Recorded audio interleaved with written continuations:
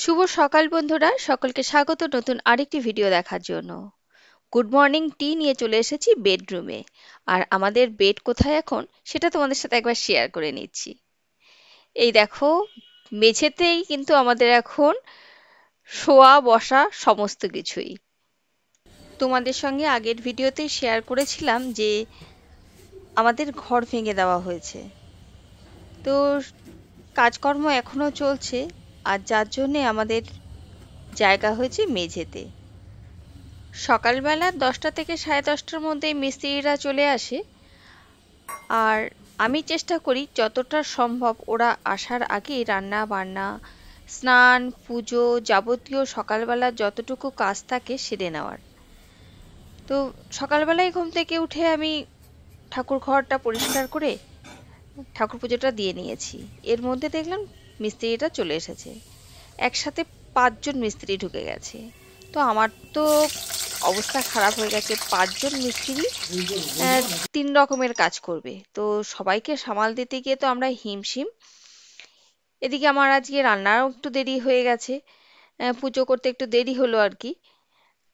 তো যাই হোক সব কিছুই সামনে নিতে হয়। আর তোমাদের সাথে আগে অনেকবার শেয়ার করেছিলাম যে আমি আগের দিন রাতের বেলার দিকে একটু মাছটা ভেজে রেখে দিই।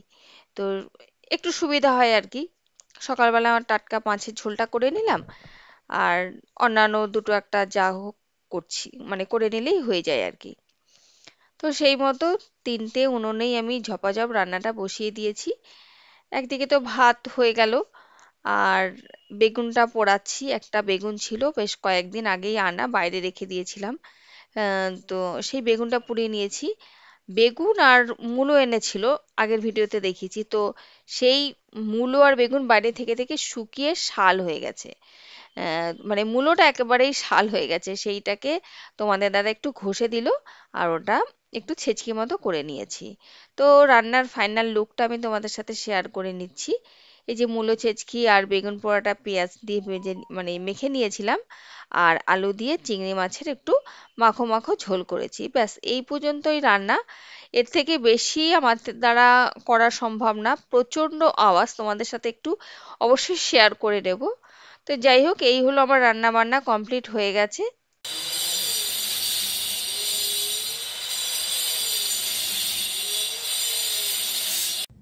এখনও ভাঙা ভাঙি তৈ চলছে। প্রচণ্ড আওয়াজ তোমাদের সাথে একটু শেয়ার করে নিলাম। আর এখানে মিস্ত্রিদের জন্য একটু চা বসিয়েছি। ওরা প্রত্যেকেই লিকার চা খায়, আবার কেউ চাই খায় না। যাই হোক, খুব পাতলা করে একটু চা করে দিলাম। আর চা আর বিস্কিট আর কিছুই ওদেরকে দেই না আর কি। ওরা খুব একটা বেশি খাওয়া দাওয়া করে না। খাবারটা বাড়ি থেকেই নিয়ে আসে। আর একটু চা হলেই যথেষ্ট। আমরা দুপুরে খেয়ে উঠলাম। ওই আড়াইটা পৌনে তিনটে মতো বেজে গেছে। তো তারপরে আমার আর কোনো কাজই থাকে না। মানে ঘর তো সব উল্টো পাল্টা নোংরা হয়ে আছে, তাই কোনো কাজ নেই বললেই চলে।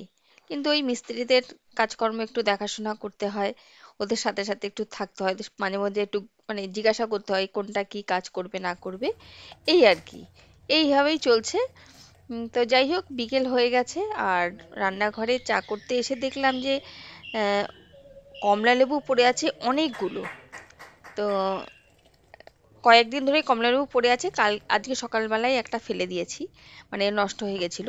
তো আজকে ভাবলাম আর কোনো রিস্ক নেওয়া যাবে না, আজকে সমস্ত লেবুগুলো রস করে বাবাইয়ের আমি দুপুরবেলা খেয়ে নেব। দুপুর না বিকেলবেলার মধ্যে খেয়ে নেব। তো, সেই মতো করে কমলা লেবুর রসটা তৈরি করে নিলাম। আর রসটা এত বেশি রস হয়েছিল, কি বলব? ছোট ছোট লেবু, কমলা লেবু ছিল।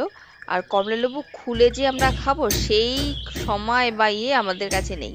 তো আমি এই জন্য একসাথে সমস্ত লেবুর রস করে নিয়ে দুজনে মিলে খেয়ে নিয়েছি। মানে প্রায় দেড় গ্লাস মতো রস হয়েছিল, ওই ভাগাভাগি করে দুজনে মিলে খেয়ে নিলাম।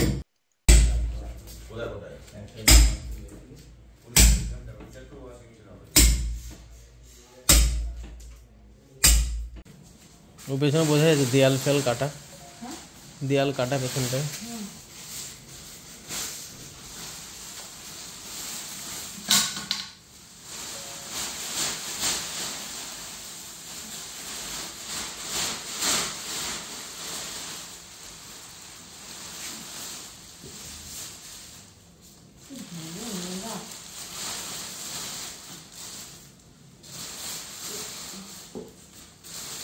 আগের দিন মিস্ত্রি ছিল ওর সুন্দর করে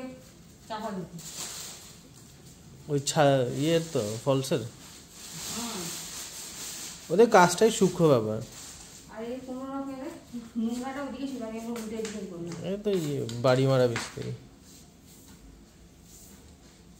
আর কারেন্টের কাজ করতে এসে বাধাটা বেশি ও গল্প করে করে চলে গেল। ওকে তো এখন আর দিতে হবে হুম।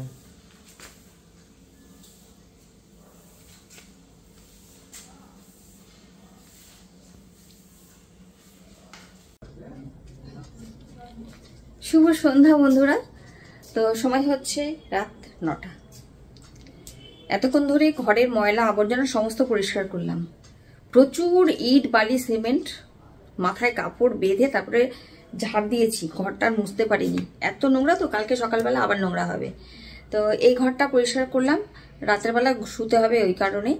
বাবাই আমি সমস্ত পরিষ্কার করেছি। তারপরে গা হাত পা ধুলাম।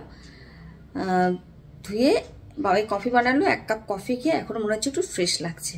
মানে খোলা হয়েছে সকালে দেখলে এই যে খাট খুলে বাইরে ফেলে রেখেছি। আর এই ঘরের মধ্যে কিছু নেই, দেয়াল টেয়াল কাটা হচ্ছে, ইলেকট্রিকের কাজ হচ্ছিল। তো সমস্ত যে লাইনগুলো চেঞ্জ করা হচ্ছে আর কি।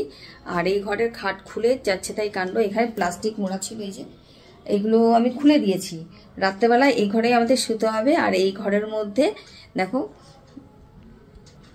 এই যে দেয়ালগুলো সব কাটা হয়েছে। দেখেছ দেয়াল কাটা হয়েছে। দরজা জানলা কোথাও পর্দা নেই। যা যাবরের মতন হয়ে গেছি। এই যে, আলমারিটা ওই ঘরের পেছন দিকে ঘুরে আছে। ড্রেসিং টেবিল এদিকে ঘুরে আছে। আর একটা জিনিস দেখাই, যেখানে আমরা ঘুমোবো রাতের বেলা। এই যে, আমরা মেঝেতে ঘুমাবো। এই যে, মেঝেতে বিছানা করে রেখে দিয়েছি। তিনজনের বালিশ টালিশ পাতা হয়েছে। একটা তোষক পেতেছি তারপরে একটা চাদর। গদিটার মানে পাতালাম না। অনেক ভারী আর কি গদিটা। বিশাল মোটা সেই আয়কার গদি তো? অনেক মোটা তো ওটা নাড়াচাড়া করতে পারব না, কারণ সকালবেলায় আবার তুলতে হবে। তার জন্য ভাবলাম দুটো তিনটে তোষক আছে, তোষক পেতে দিই, ওতেই শোয়া হয়ে যাবে। আর ঠান্ডাও তেমন একটা নেই, আর পুরোনো দিনের শীতল পাটি আছে, কালকে দেখাবো তোমাদের। শীতল পাটি আছে আমার, শীতল পাটিটা ওখানে পেতে দিলাম, দিয়ে তারপরে বিছানাটা করেছি। আর মেয়ে দেখলে তো অবাক হয়ে যাবে, মেয়ে চাইছিল না যে খাটটা বাদ দেবো আর কি। ও বলেছে, না মা, খাটটা বাদ দিও না। খাটের মধ্যে আমাদের অনেক স্মৃতি আছে। ছোটোবেলা থেকে ওইখানে ঘুমিয়েছি, খেলেছি, তুলেছি, এইসব করেছি। তো আমাকে অনেক কিছু বোঝানোর চেষ্টা করেছি, কিন্তু যাই হোক, নতুন, পুরনো বিদায় না করলে তো নতুন আসবে না। তার জন্য ওই যে খাটটা বাইরে করে দিয়েছি। আর যাচ্ছে তাই অবস্থা ঘরে। এখন কিন্তু এরকমই হবে। মানে এরকমই উল্টো পাল্টা তোমরা ভিডিও তোমাদের সাথে শেয়ার করতে থাকব। চারিদিক প্লাস্টিক দিয়ে চাপা, নোংরা, আবর্জনা, সমস্ত কিছু এখন থাকবে এরকম। আর যাই হোক, সন্ধ্যাবেলা একটু করে কফিটা খেয়ে একটু মনে হচ্ছে ফ্রেশ লাগছে। তারপরে একটু রেডি হলাম, রাস্তায় যেতে হবে। ছোট্ট একটা কাজ আছে, কাজটা আমাকে সারতেই হবে, না হলে এত কাজের মধ্যে আমি কাজটা ভুলে যাব। তো সেই কারণে একটু বেরোচ্ছি, নটা বাজে প্রায়। বেরোতে, যেতে যেতে সাড়ে নটা বেজে যাবে। তো যাই হোক, সারাদিন এই সবই ভিডিও তোমাদের সাথে শেয়ার করলাম। জানি না ভিডিও তোমাদের কেমন লাগছে। যাই হোক, যেমনই লাগুক, তোমরা কমেন্ট করে জানিও। তো আজকের মতো এই পর্যন্ত থাকছে। দেখা হচ্ছে কালকে তোমাদের সাথে আর একটা নতুন ভিডিও ভিডিওতে। তো সকলকে টাটা, গুড নাইট।